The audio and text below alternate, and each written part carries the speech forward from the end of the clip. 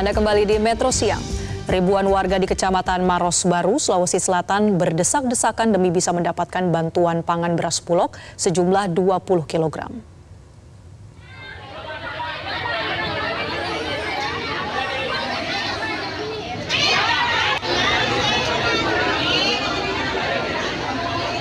Beginilah suasana warga yang rela antre dan berdesak-desakan demi mendapatkan bantuan beras bulog.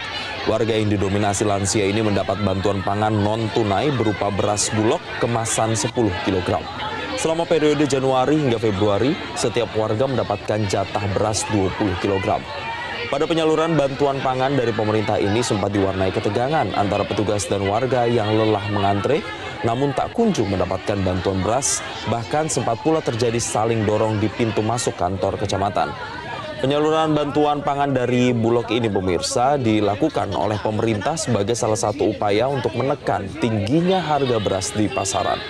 Total terdapat 28.503 warga penerima manfaat yang mendapatkan bantuan pangan beras tersebar di 14 kecamatan wilayah Kabupaten Maros. biar banyak.